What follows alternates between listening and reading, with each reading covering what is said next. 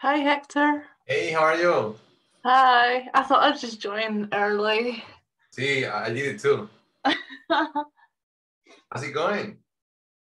fine, fine. I wanna make you. I wanna make you wait. Did you say something? Hello, Joanne. How are you? Hello, I'm good. How are you? Good, thank you. I'm. Uh,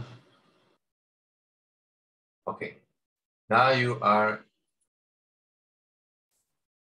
You should be both panelists. I just Yes. promoted you to panelists.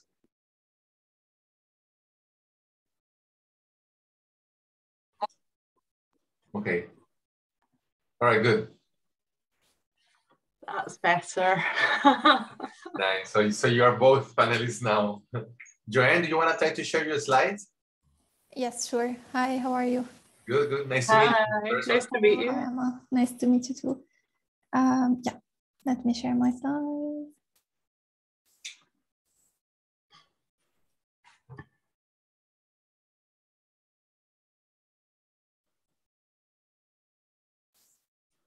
Hector, are you happy to chair?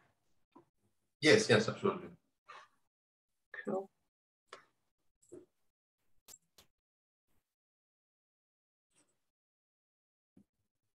Okay, what about this? Are you seeing just the presentation view? We can, well, I can see the notes as well. Um, I don't want this. not the notes, but the next slide. Yeah, that's the Maybe full. that's here. Yeah, that's the full slide. And then now you're seeing the notes again. No, it's just a full slide as if it's a normal Okay. presentation. Yeah. Right. because yeah, I can see the notes on my end, just making sure that you can see them. That's good. Yeah.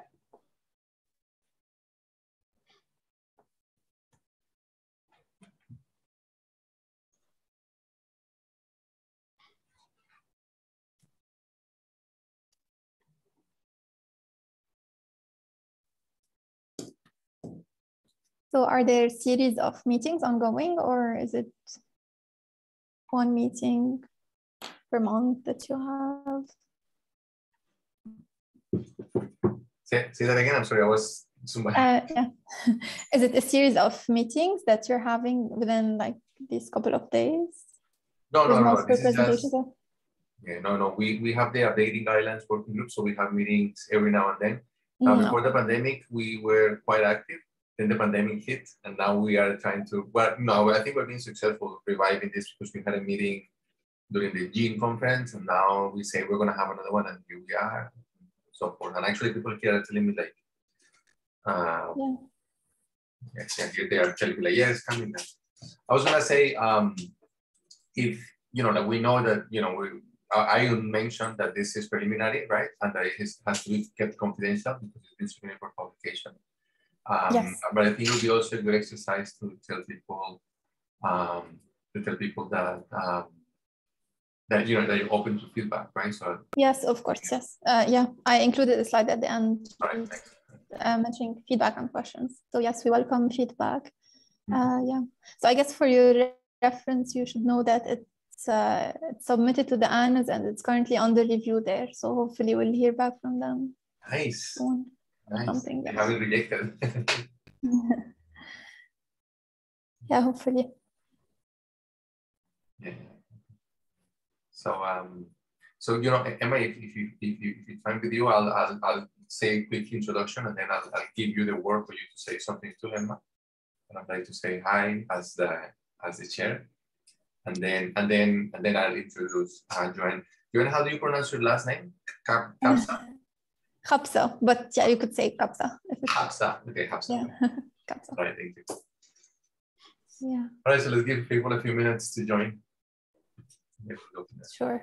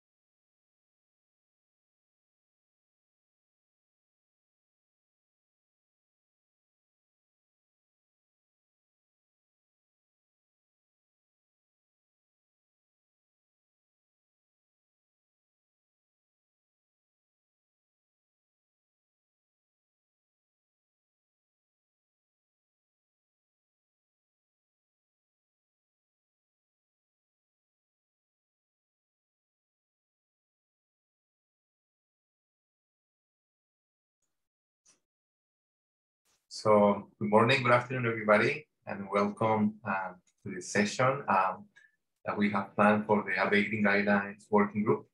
Um, we have a special guest today, um, but before we start, why don't we give people a couple more minutes to connect, and then um, and then we'll start. So two more minutes, and then we'll we'll we'll, we'll uh, commence the, the meeting. Thank you.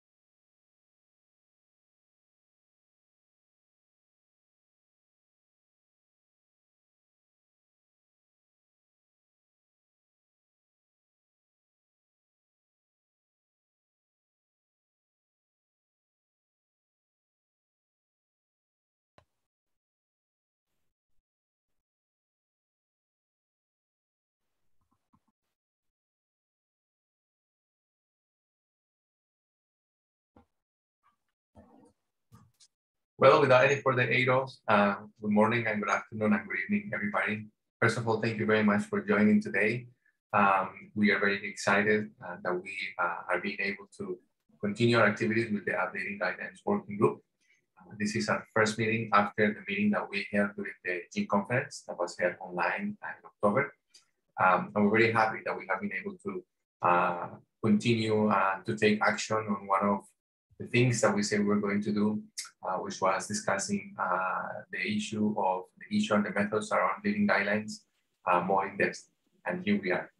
Um, as you can see, um, first of all, I'd like to say uh, that we are going to record this. Uh, it's being recorded already. Uh, and if you have any, any issues with that, please let us know via the chat. And then second, um, the way you know we're using the Zoom uh, account of GIN. they have very kindly allowed us to use it. And um, so this uh, this um, um, the way it's set up is is as as attendee, attendees, I mean attendees and panelists. Um, but I am giving everybody uh, permission to talk, allowing you to talk. I'm gonna do that. I've been doing so for those who entered earlier. Uh, so we can have a, a, more of a discussion um, as opposed to just a presentation. Uh, so um, you know, we are definitely looking forward uh, to your questions. Um, I'd like to give um, uh, the word to our chair, Dr. Emma McFarlane from NICE. Emma. Thanks, Hector, um, and thanks for organising this webinar. Um, it's, and it's good to see so many people um, with an interest in living guidelines. Um, and thanks, Joanne, for coming along to present to us. Hopefully, it's the first of many this year, and we can um, have some more discussions about living guidelines and other methods as well. Thanks, Hector. Thank you, Emma. Now I'd like to introduce our presenter today. Um, her name is Joanne Japsa uh, from the Clinical Research Institute at the American University of Beirut. Uh, she, alongside uh, Dr. Elie Akl, who all of us, uh, all know, um, have, uh, have been working uh, very hard on this, um, on this um, process, on this framework that she's going to present to us today, Living Practice Guidelines in Health, a process framework. And she has very kindly agreed uh, to present us um, the, the results of this work. We would like to highlight something that is very important, and it's the fact that what we're going to discuss, discuss today here, uh, please keep it confidential because uh, this work has been submitted for, uh, for publication and is currently under review. It's, under, it's undergoing peer review. So, um, so you know, we definitely want to present this to you and, and, and have your, your comments and your feedback.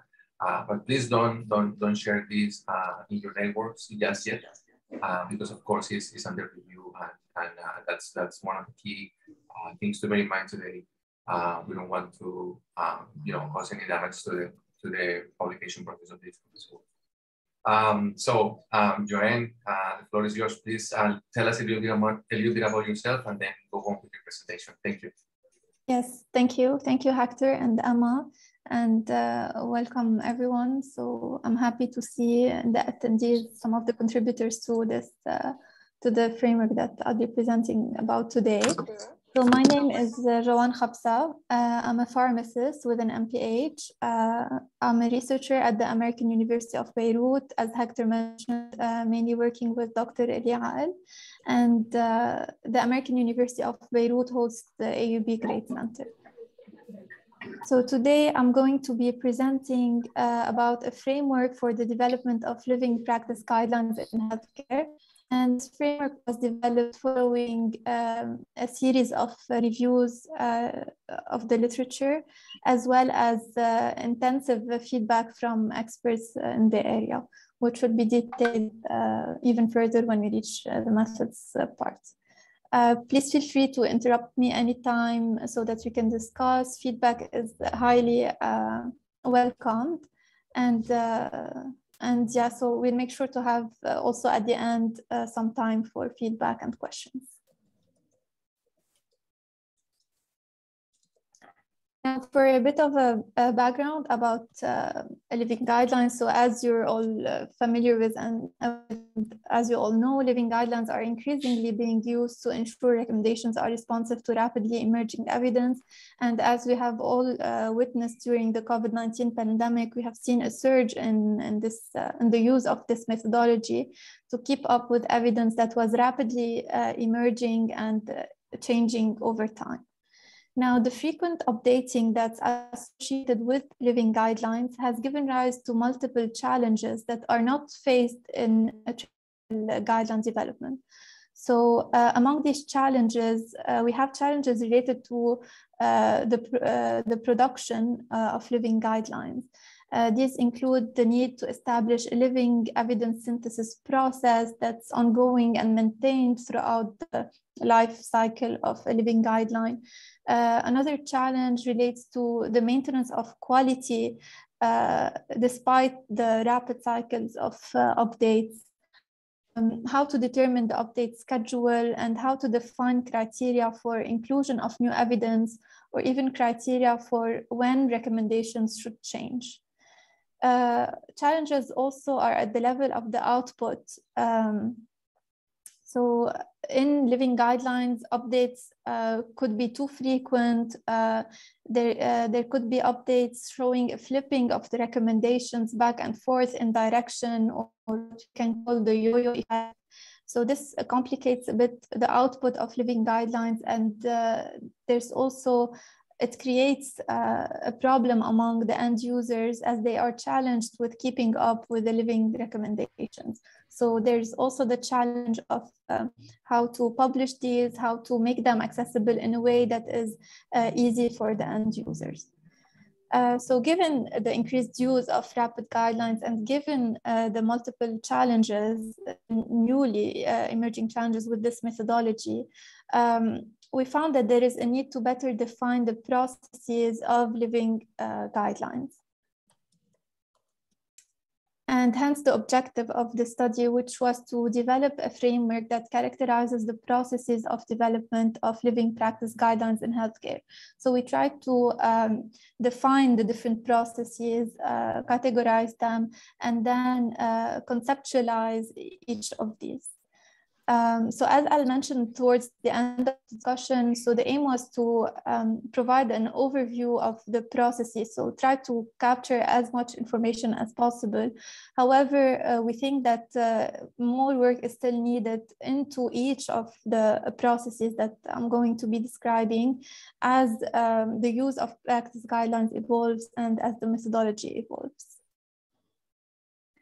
Now, uh, for the methods, uh, we followed a, three, a three-step approach. The first step consisted of, of conducting three background formative reviews, which were um, the basis for the development of the first draft of the framework.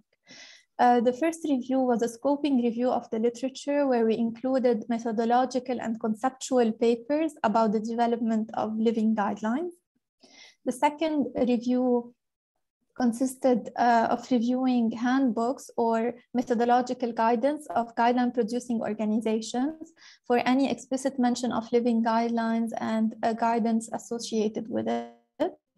And finally, uh, we conducted analyt an analytical review of selected living guidelines. Uh, so in this review, we included um, uh, uh, we included four methodologic, uh, methodological papers, eight living guidelines, and uh, three la, protocols. La, la Carol ha puesto en el report 2. Yes, uh, so we chose these living guidelines uh, in a way to capture the variability in the methods and tools used, as well as variability in scope and topics. So we um, we tried to capture both guidelines addressed COVID and non-COVID, public health versus clinical, uh, etc.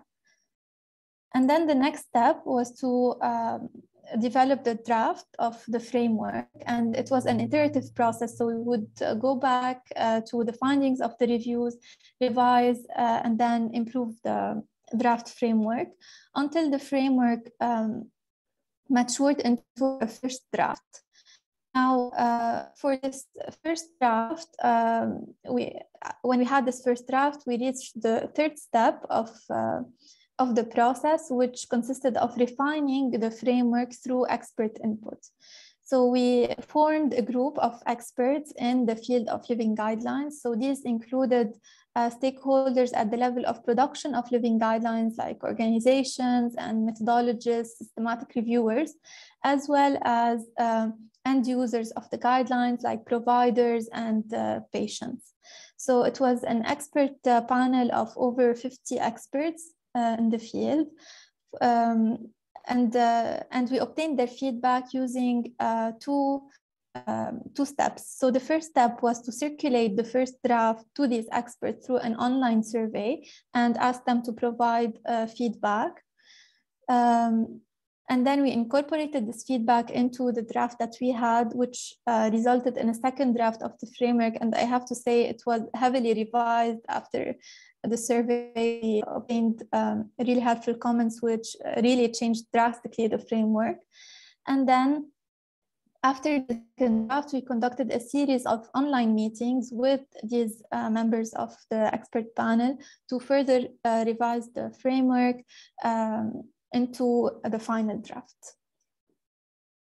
So now our final draft, uh, uh our final framework actually consisted of definitions of uh, related to concepts uh, of living guidelines, as well as descriptions of the processes. And these processes included the planning, production, reporting, dissemination, and accessibility of living guidelines.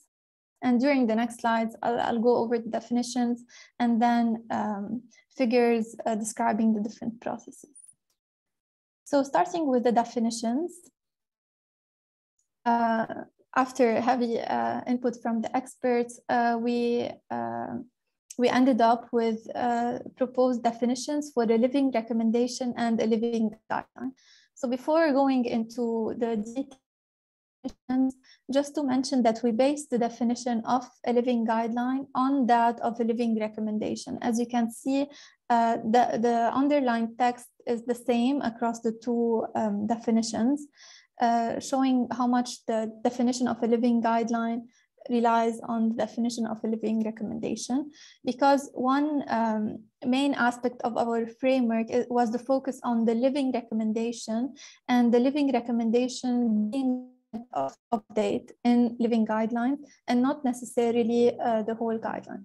So the living recommendation would be the living recommendation, and then the living guideline would simply be a collection of one or more related recommendations.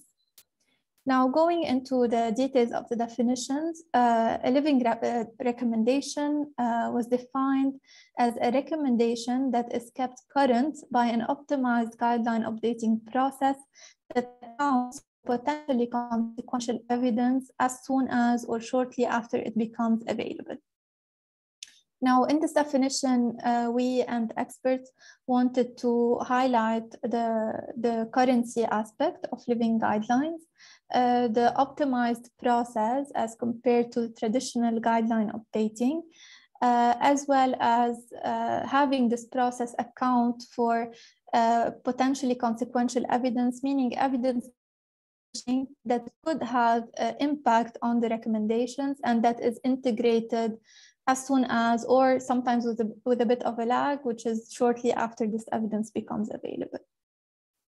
Now for a living guideline, um, it's simply a guideline that includes one or more related recommendations that are kept current by this optimized guideline updating process.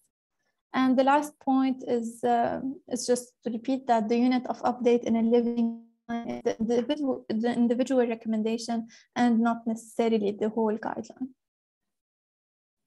Um, now, as part of definitions, we have two additional definitions, uh, one for living mode parameters and another one for revisiting a recommendation.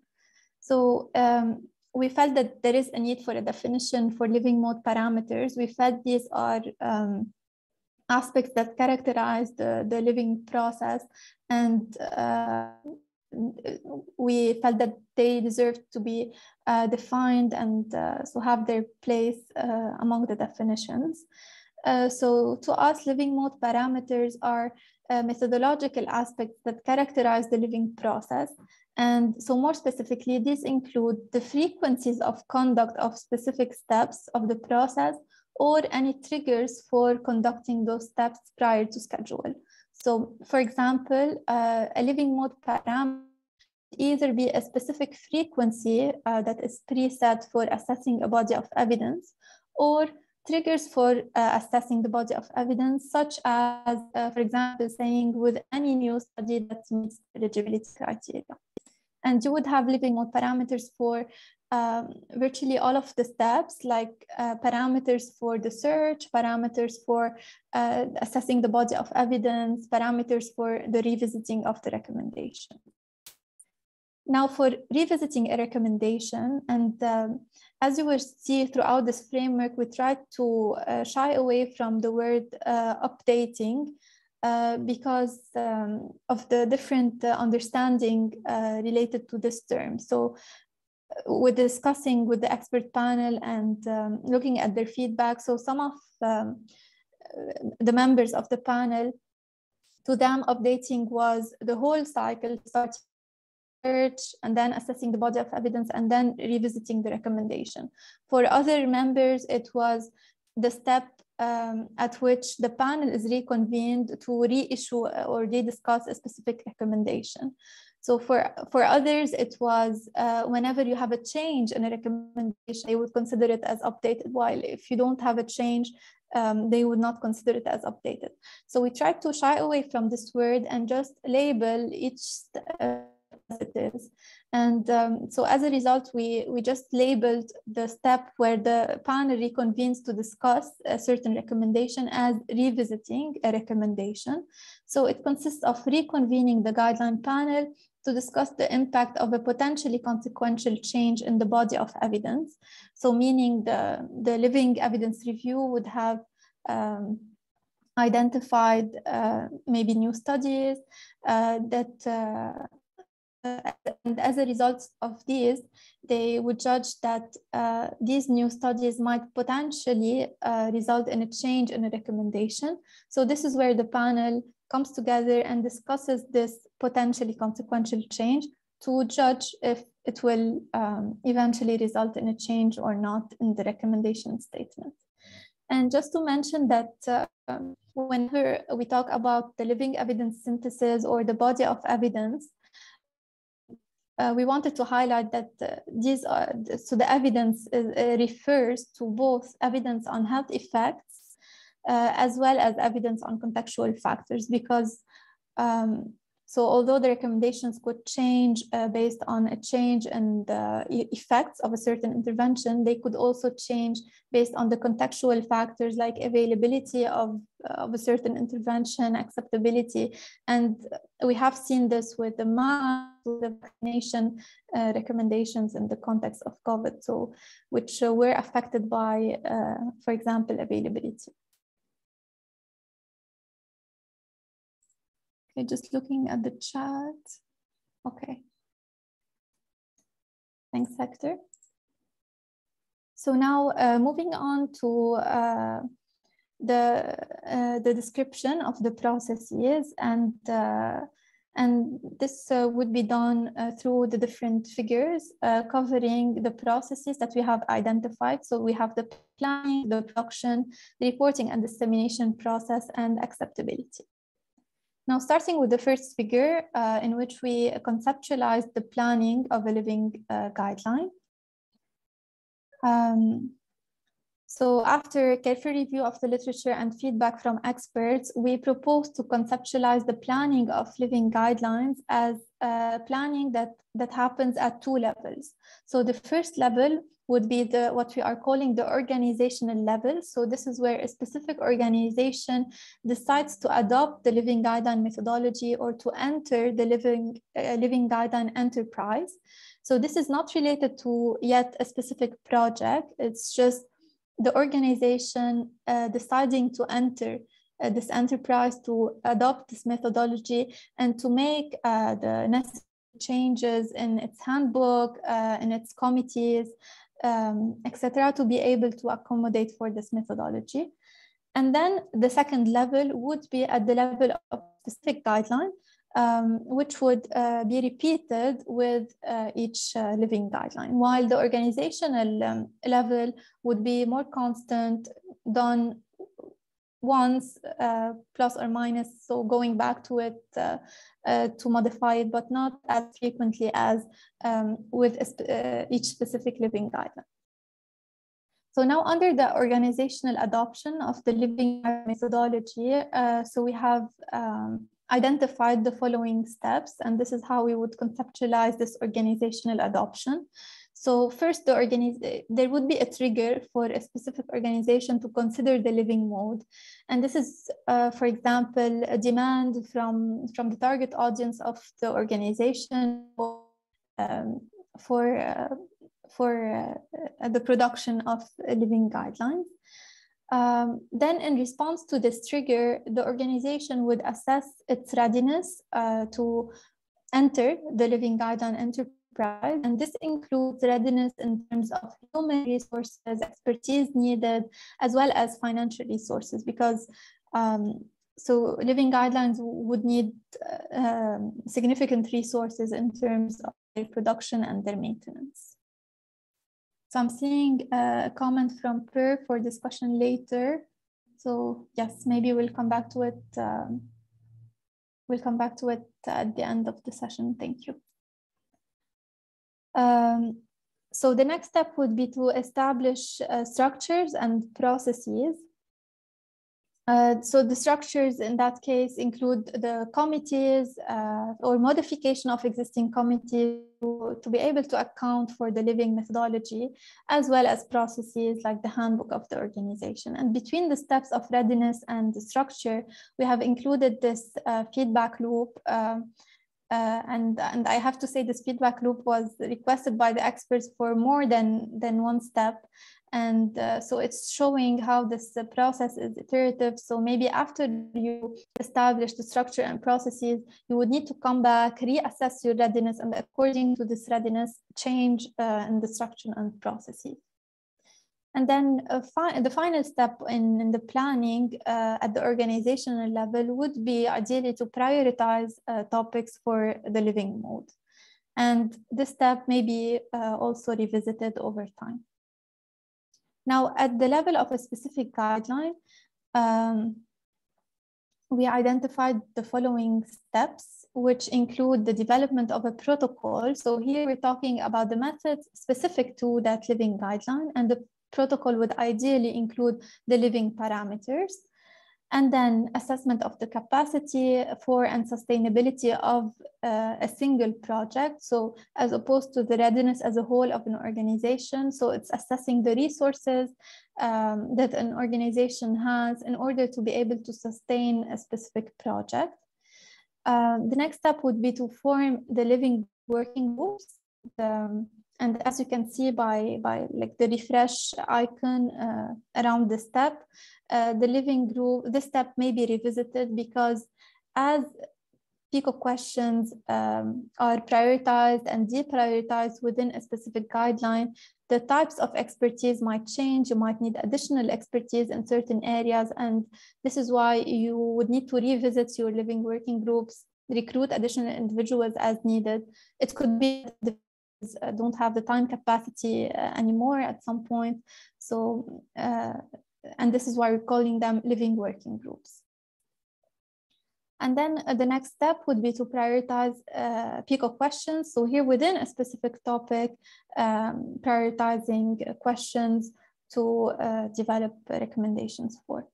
And then we have a small icon next to prioritize questions, which indicates the, that the panel is usually engaged in so um, after the planning for living guidelines, uh, the next process that we have identified and concept conceptualized is a production of living guidelines. So the figure might be a bit overwhelming at first to look at. Uh, I'll just highlight some uh, general aspects uh, and then we, we will go back, we'll go into more details. So first of all, maybe the first thing that strikes is coil uh, shape uh, that we have used.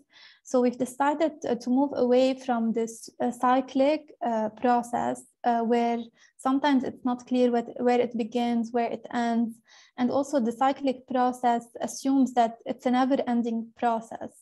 Um, while we found that in living guidelines, um, at some point for a specific recommendation, it could be retired from the living mode and it we also start at a certain phase. So we have an initiation phase and we could have a retirement phase, uh, marking the start and the end of, if you want to call it the life cycle of a specific recommendation. So this is why we felt that the co this coil-shaped uh, process uh, is more suitable to conceptualize the production of a living recommendation. It shows that you have some steps that are being repeated, but then there's a start and there's an end.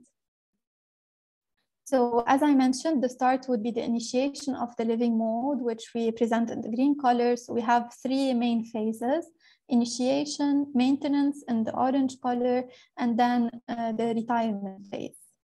Now going um, into uh, more uh, details uh, and uh, looking closer at the picture, uh, the blue uh, big arrows uh, show the time dimension. They show ongoing processes like the living evidence destination.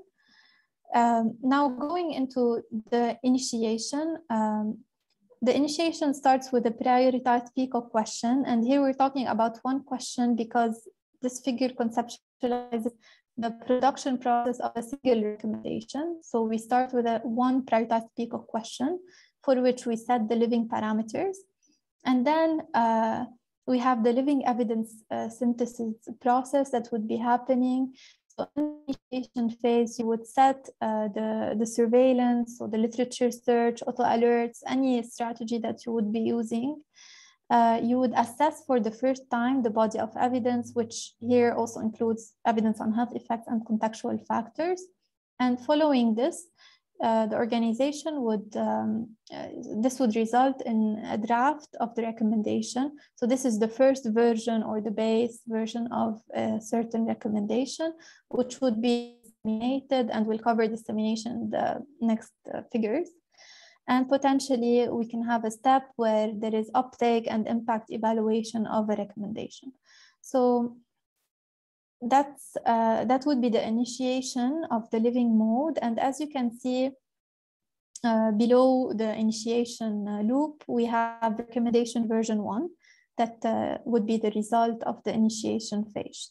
Now moving into the maintenance phase, that specific recommendation, uh, it could be that this recommendation is revisited uh, so while you revisit uh, the PICO question, you could uh, decide to change uh, some elements, add outcomes, uh, ch change a bit in your intervention, maybe split the PICO question, merge PICO questions together.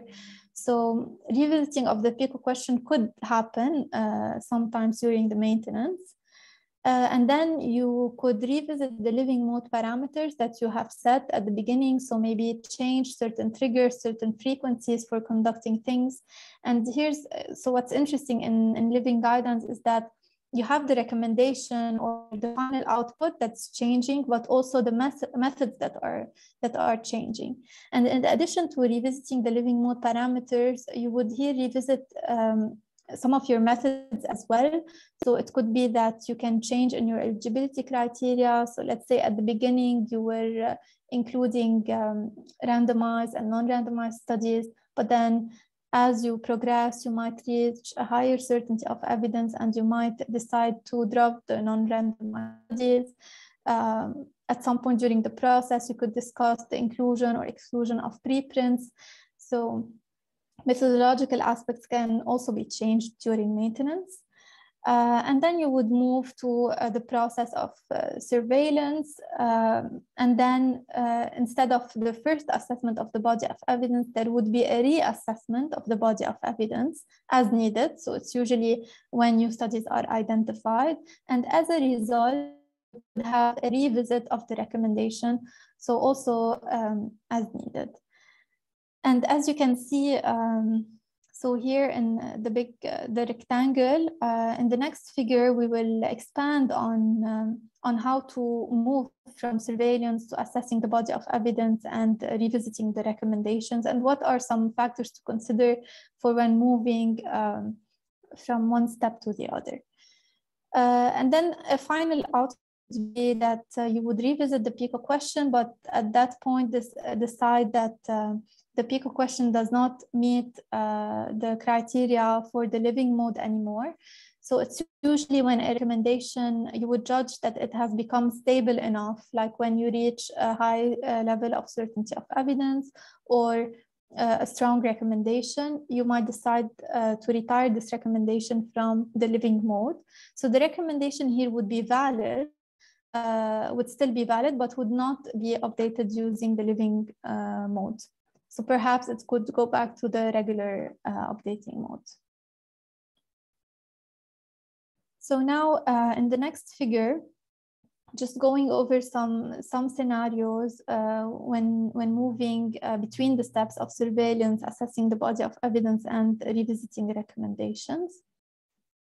Uh, okay, so but just before moving to this figure, uh, we wanted to highlight by this yellow arrow at the top that uh, there are also ongoing processes that need to be kept in mind, like COI management. So it, it, it has to be a living process and so perhaps it needs to be repeated at every cycle.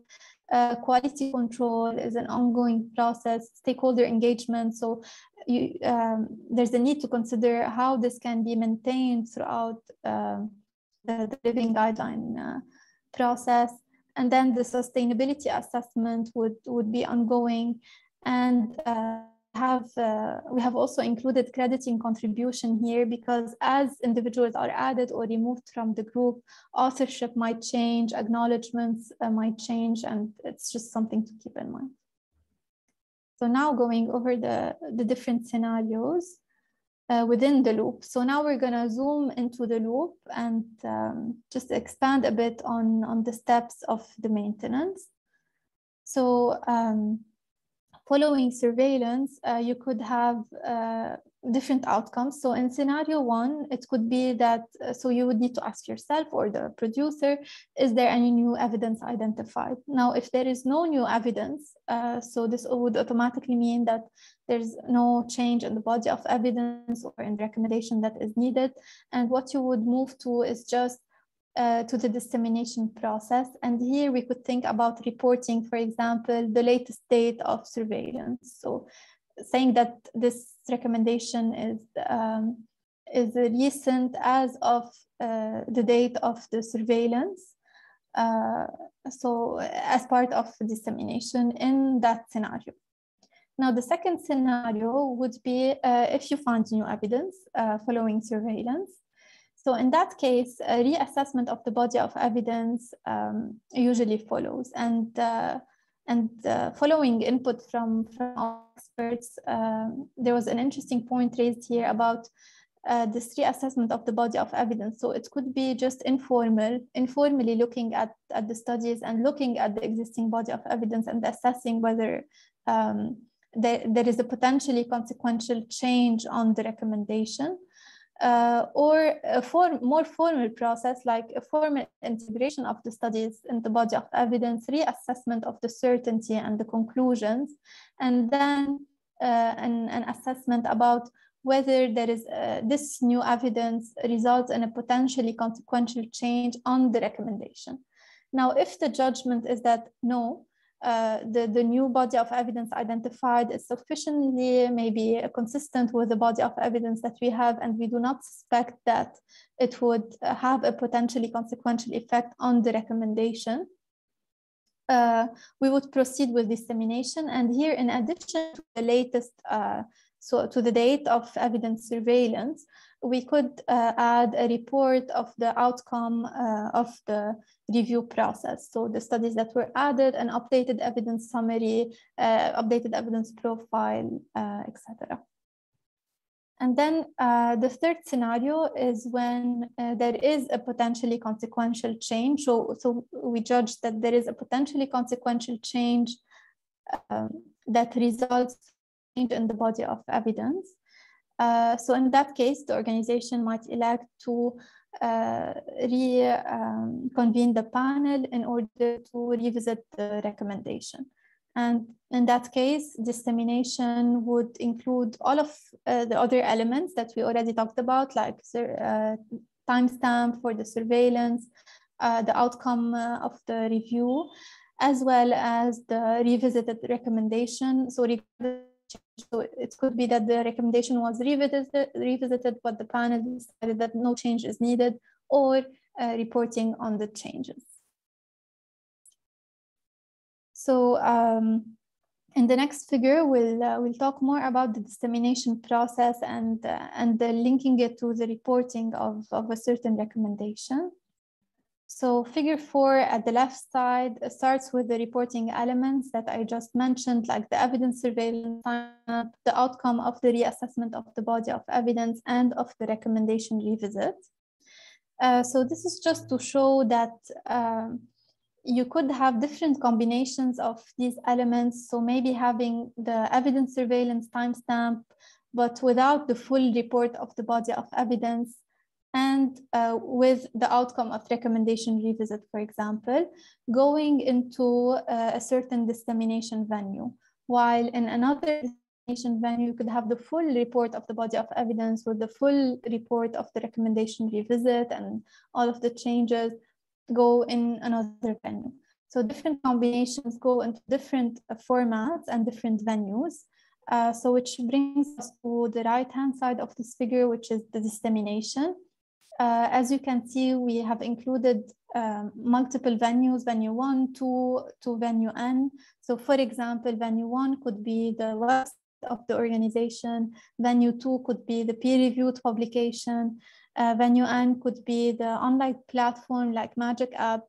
And uh, just to show that, uh, that uh, one guideline uh, or the outcome of, of one revisit could be published in different venues. And uh, we have um, shown here the time element and showing a bit that there could be a lag between venues. So maybe first online platform and the website, but then uh, because of the peer review process, the peer review publication might take more time to become available.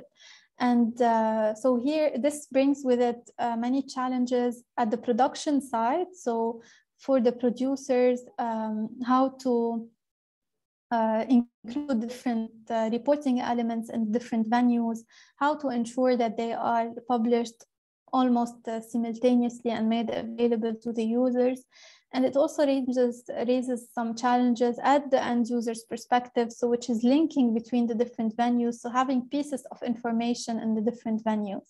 And we propose that ideally um, uh, there, there would be a link between uh, the different venues for, for the users to be able to access more easily the guidelines and follow a certain living guideline.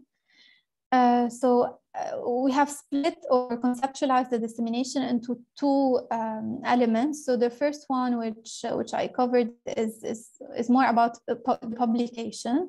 And then there's another uh, aspect of dissemination, which we call raising awareness. And this is more of the active dissemination that the organization does, like tweets, email blasts, to raise awareness of the guideline. And then here, as you can imagine, they could be really brief messages, uh, having brief um, reporting elements. So from the full report to these uh, small uh, announcements or active dissemination messages. Uh, so next, uh, as part of the framework, also we've included uh, just an example of how a living recommendation could be reported and how the, these different reporting elements can be integrated.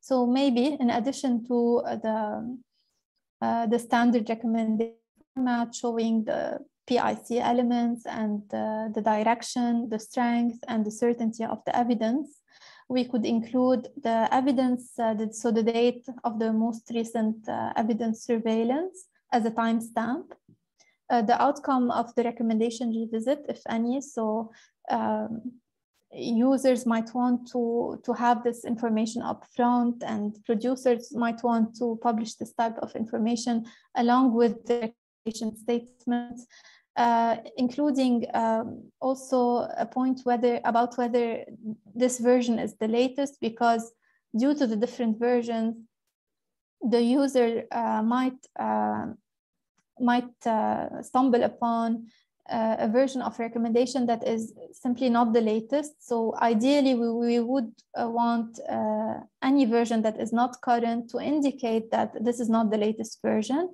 And in addition, um, uh, to also link to the latest version of a certain recommendation, which is the last, uh, the last point that we have.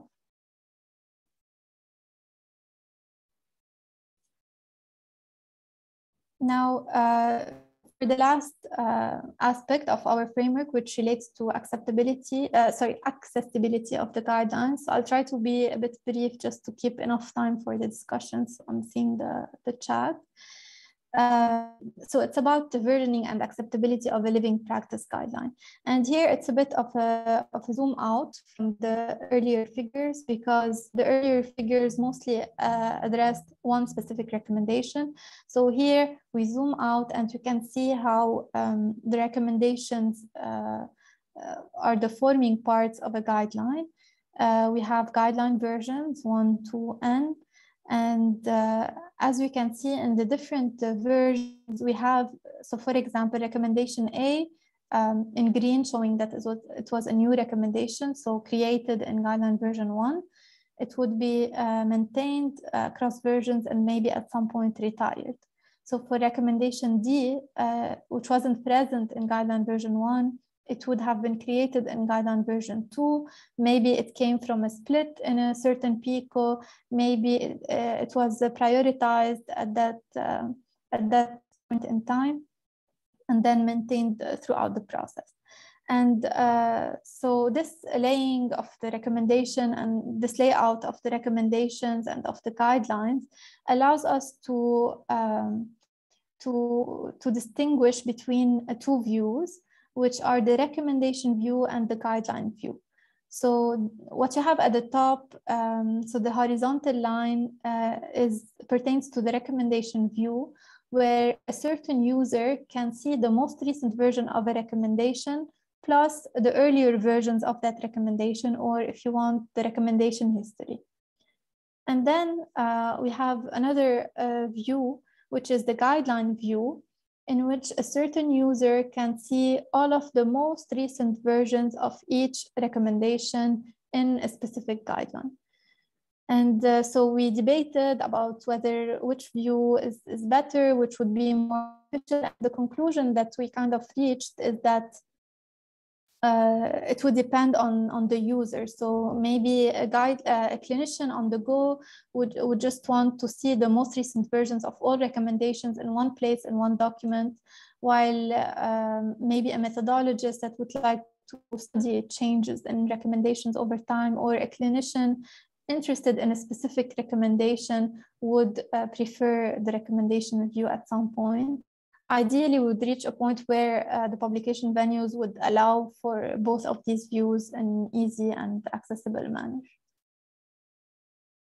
So just to end, um, uh, a few discussion points. Uh, to mention that this framework builds on the GIN-McMaster Guideline Development Checklist. And we're mentioning this because we think that uh, this framework focuses on aspects that are specific to living guidelines or particularly but the other aspects uh, would still hold. So the other aspects of the regular guidelines development uh, described in the GIN-McMaster Guidelines Development Checklist. Um, we think that the framework can help guidelines developers in both planning and conducting their living guideline uh, projects. And it can also help, so that's from a practical side, but it can also help to study the method of conducting, reporting, and disseminating the practice guidelines. So because it's it provides kind of a conceptualization of, um, of the different processes involved. And then we think that further development and research uh, is needed to address uh, details of, of this uh, process, like the certain triggers, what are they, uh, how to set them. Um, so, so all of the, the discussion points uh, that were raised. Just for acknowledgements, I would like to acknowledge the, the core team, uh, which have uh, worked uh, really hard on this publication, but also the Living Guidelines group, uh, which is the group of experts. Uh, without their input, so the framework would have been uh, totally different. So also thank you for their involvement. so I'll open it for feedback and questions. Well, thank you very much, Thank you. Thank you very much, Yes, well, thank you very much for this very comprehensive uh, presentation. Uh, thank you also to Elie and to the rest of the team. And at this point, we'd like to take your questions. Uh, please, please go ahead. Um, you know, I'd like to start up with a first uh, comment. Um, you know, he says for discussion, uh, other factors other than the body of evidence uh, that may warrant revisiting a recommendation uh, which fits the EtD, but goes beyond evidence um, as we know it uh, more practically. For example, a, a, new drug being approved or removed for use uh, based on HTA processes. Um, so, you know, there are many different drivers for updates in the guidelines. So thank you, Pedro, for this very interesting comment. Um, if you want to go ahead and say a little bit more, uh, for yours, Pedro. Uh, otherwise, anybody who wants to intervene, uh, please go ahead. Yeah, well, thanks, Hector, and, and thanks most of all to Joanne and the team. Wonderful work. Really impressed. It's going to be extremely helpful in the space of living guidelines. Um, so I think my comment was just a, a detail uh, that when we talk about uh, living guidelines, and we are pretty focused on methods and GRADE and the body of evidence, we've learned through our early efforts before COVID in MAGIC um, that there are actually a lot of different more practical issues that would trigger a change in, in recommendations and living guidelines. But I think you you agree, Joanne. Uh, since you're nodding, let me bring up a few other things. Uh, yes, please. I think again, this is just wonderful work. And uh, one of the things I'm curious about is how you define when you come up with these new definitions of living recommendations and living guidelines to operationalize, uh, you know, what we mean by an updated recommendation. You say, I think consequential uh, change did you discuss or have any more insights into how to define this? So, I mean, traditionally it's been like changing the strength or direction of recommendations, which is quite pragmatic, but also easy to conceptualize. But I think we see now from COVID and WHO uh, living guidelines that even a change in the condition for recommendation, like we now have for an antibody with the, the Omicron variant, would uh, classify as an updated recommendation. Actually, we're struggling with this now. So I'm curious about the insights from your work and how to define or operationalize consequential change or yeah. Yes, yes, thank you for so a very important point, and it's it came up during the discussions, and uh, I think this is an area where uh, where further uh, research is, is needed to define these. So as you mentioned, we have the, the traditional um, uh, certainty in the evidence uh, um, of the desirable and undesirable effects, uh, the contextual factors perhaps changing. Um, maybe the, the estimates, the, the size of the estimates uh, might, uh, might result in a consequential change or not. But uh, yeah, so this is, this is mainly what we thought about. So most of the factors you've already mentioned, but as you're suggesting that there might be more and, uh, and further research might, might help with these. Yeah, I agree. And then Hector, I'm sure there's others who want to ask questions. I have more, but let's let others chime in. I'll, I'll go back to you, Per. Um, Sarada, uh, you say, how have implementation considerations been reflected in the development of this model? Uh, Sarada, would you like to elaborate a little bit more on your question?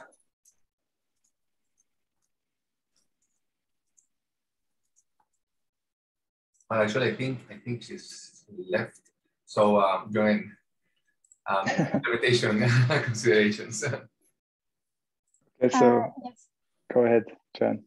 Yeah, I'm not sure if uh, if uh, uh so we're, you're talking about the comment about Sarah, uh, in the chat. I'm not sure if uh, if it's about implementation of of the actual um, processes so at the production side or implementation after production. I think it's more about after uh, production of certain recommendation.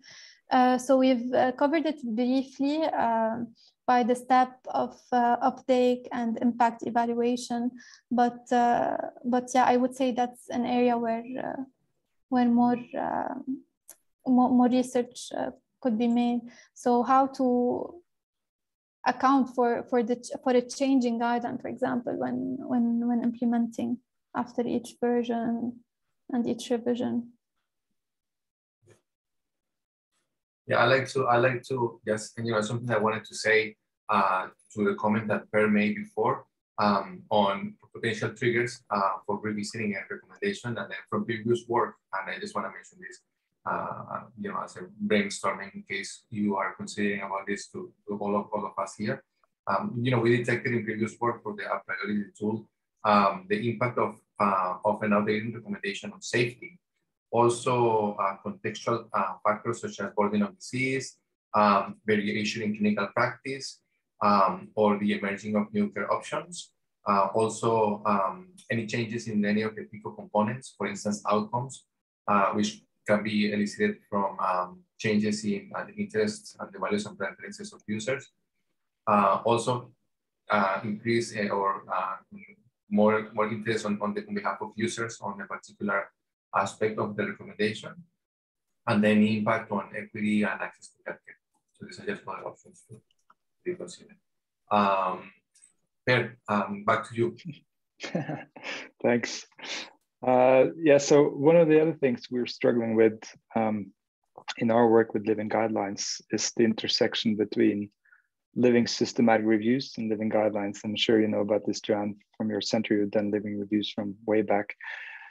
And one of the things we learned is that um, the living systematic review ideally should be informed by the needs from the guideline panel.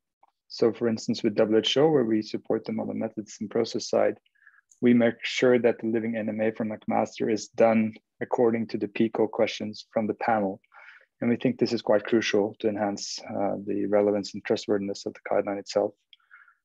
So did you cover the, this intersection between the living reviews and the living guidelines in your in the framework development? Um, yes, so uh, it was addressed as, as part of, of these so the different scenarios, what happens when you find new evidence, etc. But uh, but there is uh, more to that, uh, as you're mentioning.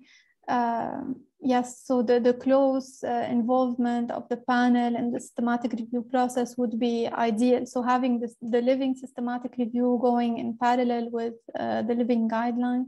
So it would even uh, impact how, um, how uh, evidence is graded. So because it would uh, be defined by how the, the panel is judging a clinically significant effect and uh, so other factors.